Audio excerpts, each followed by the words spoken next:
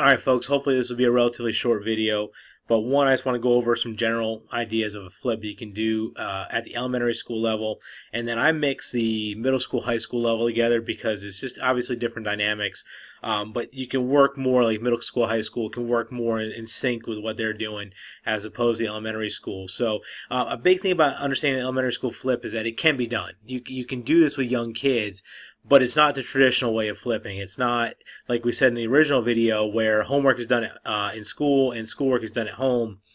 That's a little difficult to do. Like I mentioned earlier, you know, I have a little one, and I, I know a lot of you guys have been through this or are going through this and understand that homework at home is is a way that it's it's not always productive for young kids, and that's okay. So with this idea, what I'm, I'm encouraging is you don't have to be traditional and flip, but you can still do this, and you don't have to bring in homework into the equation. Um, but by making videos that are accessible, it can still be looked at at home and reviewed and practiced, no doubt about it. So when you look at elementary school, I think it's a little bit difficult to do a full-fledged flip uh, like I can do at the high school level, uh, but you can definitely flip a lesson. Okay, especially when students need a lot of help in something. Okay, uh, this makes a lot easier. You can get to more um, young brains when you're doing it this way. So definitely start with a lesson you need a lot of help with. Uh, any video you create, and what I'm going to encourage with videos made here are videos that are made for direction, okay? Giving the students direction what they have to do. That way you're not listening uh, to students ask you over and over how to do something. They can go to the video and, and kind of learn it there and then try to work on it. And again, you have peer collaboration okay? But definitely with young kids, keep their videos short, under 10 minutes, and that's looking at anywhere between 1 to 2 minutes per grade level. Keep everything relatively short so they can kind of grasp what you're asking them to do and move forward. And of course, you got to know your, your your students, and which you will. You, know, you guys are with them so much. I, I, I have a lot of respect um, for what you do because I couldn't do it. I need to move mine along and get another group in. So um, I'm really, really amazed at what you guys can do at the young level, and, and it really shows with what we're getting for sure. So, obviously, knowing your students, start with a center in class. Kind of figure out a way to how to mold this in or mix this in a little bit as you go along, and definitely have a way to check for for progress. You know, whether again it's a process. So find out where the processes are being met or where they're not being met, and that's where you bring in the next part of remediation and practice and, and kind of repeat that idea, but allowing them to kind of get the conceptual knowledge, especially for what you're being asked. And again, goes back to that math again. All right.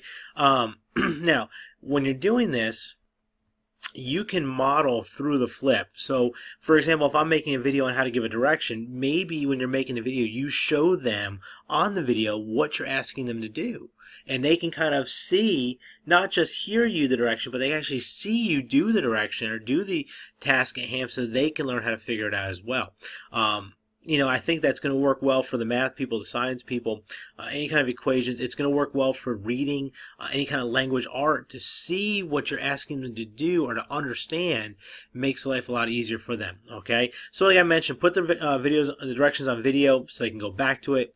You can spend more time helping. You become the tutor, not just the teacher, uh, as opposed to just saying, "Oh, these are directions I gave you. These are directions I gave you." Um, I'm even going to start to look at doing this for my high school kids. That when I have a certain task that I want them to complete, especially one that's done online, I might just make a video that says, here, here's what the directions are. If you need to go back, don't ask me, just go back to the video, and then I'll help you with the fine details of what you have to create. Uh, definitely keep, and I'm, I'm most of you do this already, but keep the lesson in small parts, and maybe create video directions for each part. Okay, that way as they move along and, and you're doing this within your classroom, they are seeing you and hearing you, but they're also getting your help when they need it. And of course, you have natural student collaboration. Those who can will, and they'll also pull those along with them and that's a big part until they become more comfortable to do it on their own. And and my suggestion is because really this is where the flipped classroom began in, in the business world in math technology engineering uh, start with a math lesson. You know that's where they seem to struggle some of them seem to struggle the most or start with a reading lesson. Either of them work really really well. But the key here is, you know, and, and, uh, and I kind of fear this as a parent myself when the time comes for my daughter to learn math. I told you I'm not a good math, uh, wasn't a good math student, not a good math person. My wife handles all that stuff. She's a lot smarter than I am. She married me. But anyway, I regret, I digress. Um, this will help parents understand what the Common Core is asking as well. Okay, uh, instead of having to be beaten over the head, you're also teaching them because they're the ones who are doing it at home, doing the practice at home with them. All right, for the middle school and high school flip, definitely uh, a little bit different than the elementary school flip for sure. Um, my suggestion again is, is, go little by little. Don't just jump into a flip full time because it's difficult. I mean, it took me two and a half years. I spent a half a year really molding what I wanted to do, and then I kind of worked on it over the summer and jumped into it again for the next year. So it definitely took time, and I'm, I'm evolving every day, every year as we go along. So begin with individual lessons, give it a try, ease into it, okay? And this really goes regardless of the topics you teach or whatever content you teach, you know, and that'll be kind of shown in, in later um, when I send you this this presentation. I'm not going to do a video on those because there, there's a lot of stuff and I don't want to get people beaten down with different videos. All right, um, definitely at the middle school and high school level, create collaboration. If we're looking at creating um, citizens and people that are ready for the, the private and public sector, making them good, hardworking people, you know, collaboration is going to be huge. It's the the job force, the workforce today is very much a collaborative workforce, uh, especially with multidisciplinary um, uh, aspects to the job. So really creating collaboration is going to be huge. I know we work towards that, but this becomes a natural collaboration, especially when technology is involved. And again, I go back uh, many times over, become the tutor instead of the teacher while we're in class. Uh, that way you're not the sage on the stage. You become the guide on the side and you help them out a lot. Um, definitely incorporate checks. And this is a big thing. I use Zaption. I use Zaption mainly. Uh, TED Ed, PlayPosit. I've used PlayPosit before when it's called EduCanon just change the name. Uh, you can incorporate multiple choice questions, uh, thought provoking questions, just simple checks that give you data in return and give you feedback in return. That way you can plan your lesson based on what they're accomplishing, what they're not accomplishing, or start the class off by what you figure might be a weakness uh, and try to build it into a strength, of course. All right, and that goes, of course, planning the lessons based on their needs. Um, welcome the students into the uh, idea that they have control of what's happening in class.